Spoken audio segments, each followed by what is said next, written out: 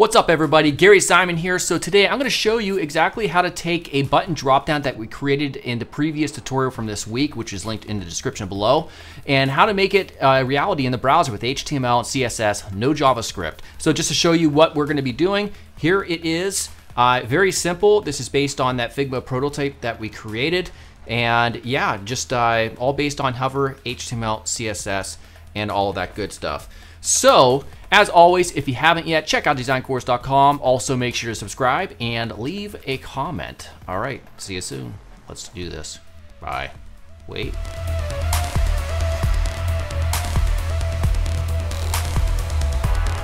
Now, chances are if you're watching this video, you probably want to be a better designer. And if that's the case, how much do you really want it?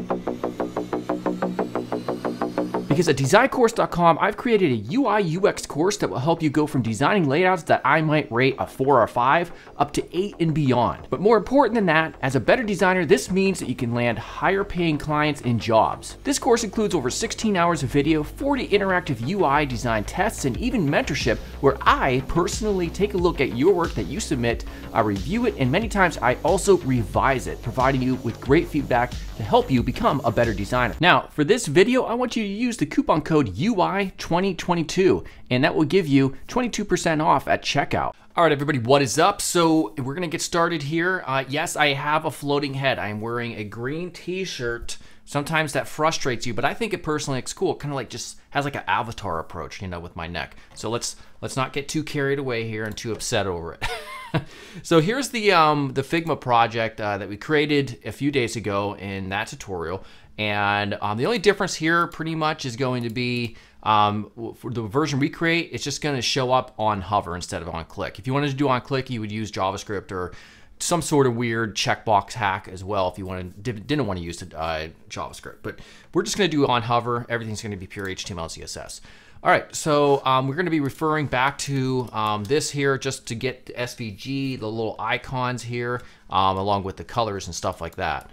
So let's get started. So um, I'm gonna minimize this. I already have a project open here in Visual Studio Code. I have, let me make this just a tad bit larger. Um, I have just a, a folder with an index.html and quick tip if you're using VS Code, exclamation point enter gets you pretty much what I have. The only thing I added here is this line right here, just to link up the style sheet, all right? So that's in a folder called CSS, and I created a main.scss file or a Sass file and I've also I'm, I'm watching it with the extension live Sass compiler. I haven't migrated that yet, so I need to do that. But anyhow, it still works. Um, so also I have the live server extension. It's also up and running as well. So if we go back to our files, right click, uh, open with live server. I already opened that up.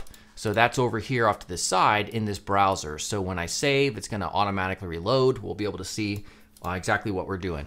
Okay, with that said, let's get started with the actual HTML. So I'm gonna create an overall container just to hold everything. And I, that's gonna be our only child element that's inside of the body element. And that'll allow us to use the, the grid to center things real quickly with uh, horizontal and vertical. So let's also add a button wrapper. So this is also going to just uh, be a single element that holds all of our button stuff. BTN wrapper. Now, by the way, I am using Emmet abbreviation, so you know you may, you may see me hit a period there, BTN wrapper. That just you know makes it quick and easy instead of having to type all the stuff out manually. I do have a crash course from a year or two ago about using Emmet abbreviations. There's a lot you can do with it. So additionally, um, now we're going to focus on, think of this in two, two main parts. So if I refer back to our Figma document, really we have this button and then we have this little uh, kind of unordered list menu down here. So we're going to focus on getting this button done first. So let's go ahead and type in button. So we're going to use a button element, and then we have two elements inside of that. So the first element, I clicked on the wrong thing, um, is going to be this little icon right here, and the second thing is the text itself. Um, we're going to use the flex, uh, the flex box to just quickly put those on left and right alignment. So um, we first want to get this this right here. So if you control um, left click, you'll get into that, but you want to make sure you select the actual area down here. So if I bring this out, you can kind of see, you don't want to select the icon itself, you want to select the this part right here. Um, that's the actual area that you want to select. So if we right click this and we copy as SVG right there, I'm not sure if it worked. I'm gonna make sure it actually copied it. All right, so now it says copied as SVG. We just go back in here and we paste that in, just like that. All right, so we'll have to do that a few more times for the other um, icons and such.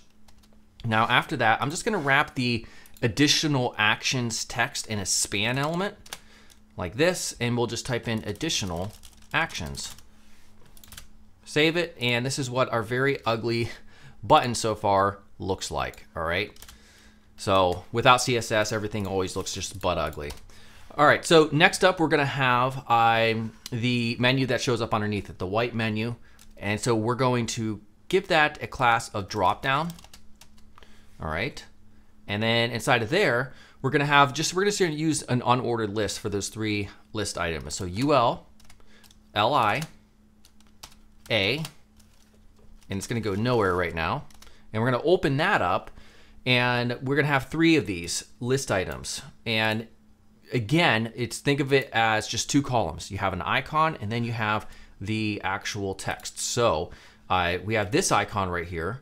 And again, I'm not going to show you how to do that. I already have reference code with all that CSS. Same thing. You select it with control left click, select, make sure you select the whole parent, right click, copy as SVG, and we'll go back, paste it in, and we're ready to rock.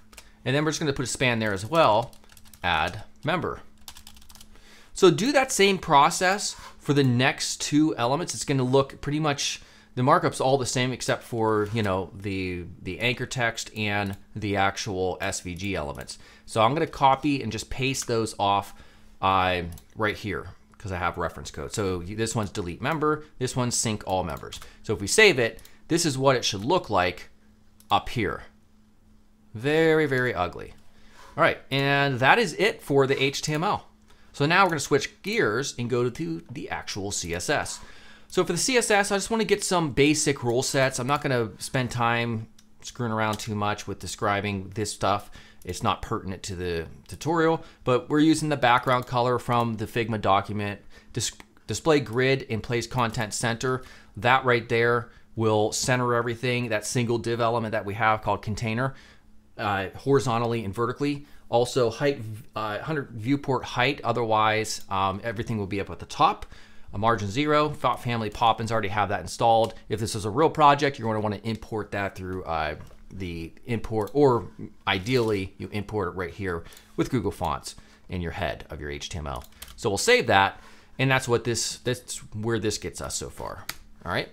Next up, let's focus on styling the button, the first part, right? So um, what you would do in this context, we get the, the first thing I usually specify is just the background color. So if we go over here, we select this, control left click, we see the fill right there. You take that, copy it, and we simply say background, put your little hash sign, and there we go. We got the color rocking over there. Um, next up, we're gonna beef up the size of the font, 1.3 rem units. All right, just a little bit bigger. As you can see, border radius is gonna be 0.3 em units. All right, that just rounds out the borders right there. We also have padding, because look at this, this padding sucks. Don't create buttons that look like that. You want nice padding all around, or white space on the inside. So we're gonna put one em unit at the top, one point. Now, if I just do one em unit, by the way, it's gonna apply everywhere.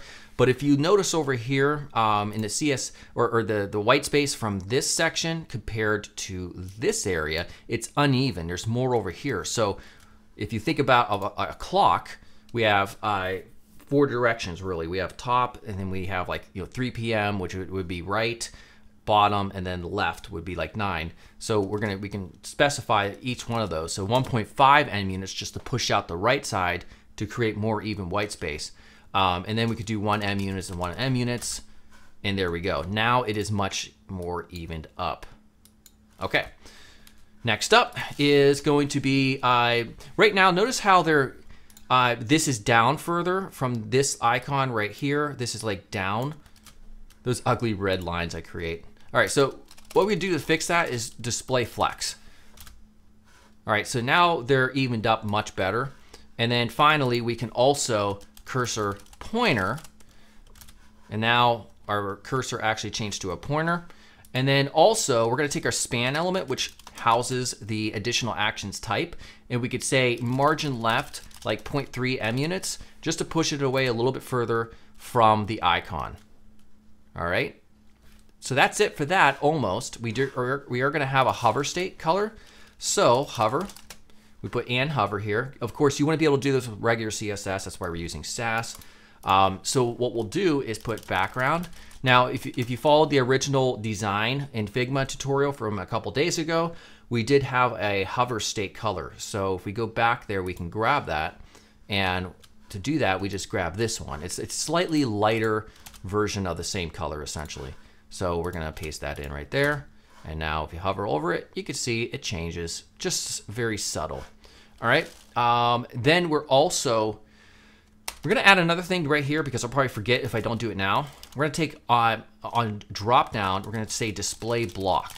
And what that'll do is, uh, if you recall, the drop down class houses the entire drop down menu underneath it. So when we hover over this button, we wanna say and hover, we target drop down as well, and we'll, we'll choose that uh, display block because otherwise it's just hidden.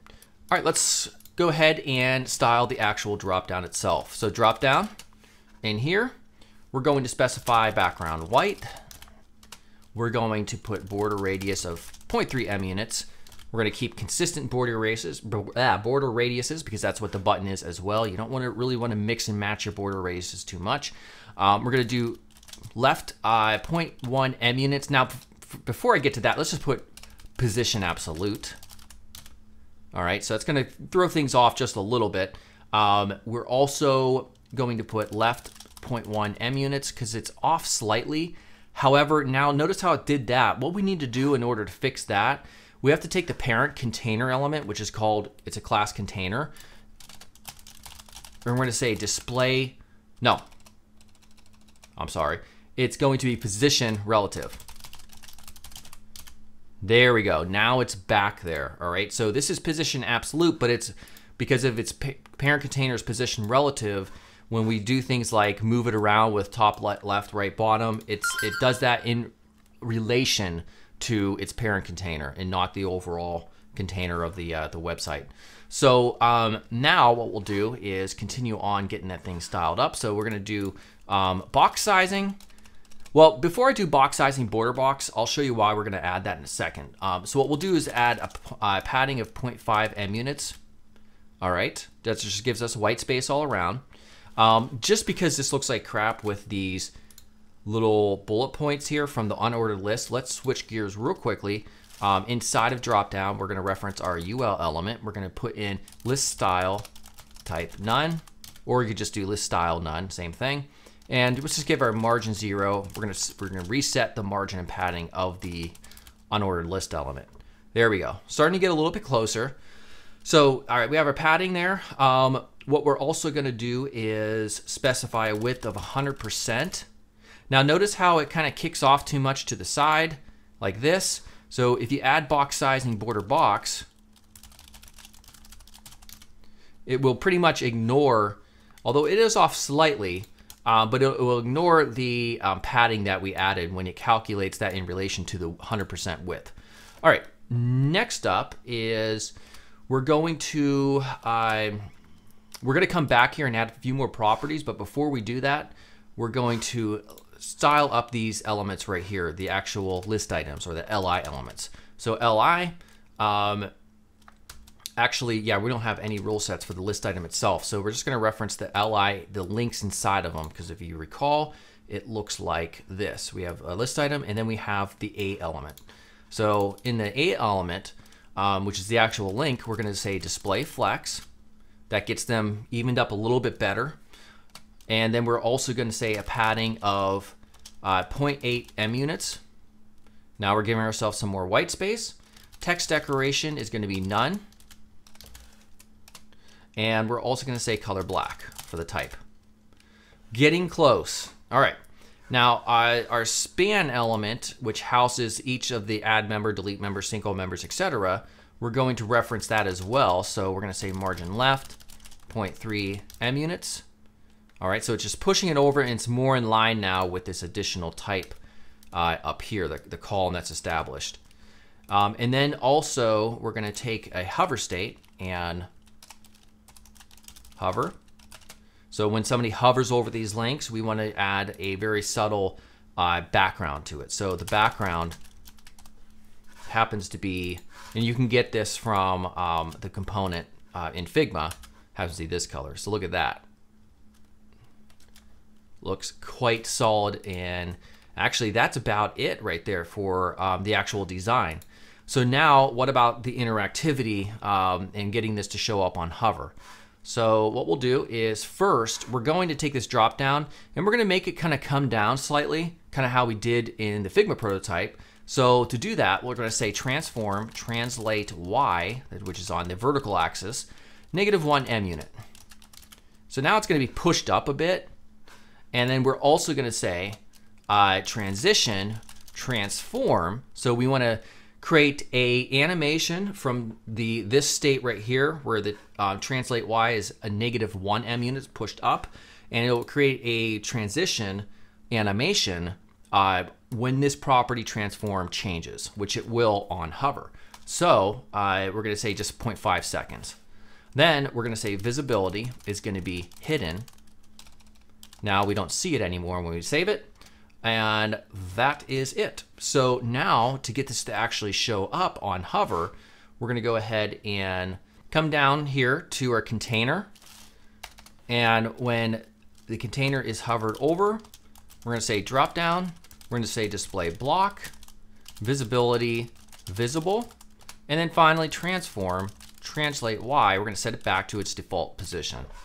Hover over it, and there we go. Ready to rock. We're able to click any of these. Awesome. Awesome stuff. All right, everybody, hopefully you enjoyed that. Now, if you did, make sure to check out designcourse.com if you haven't yet to learn UI, UX in an interactive setting. And also, make sure to subscribe here. I'll see you real soon, and goodbye.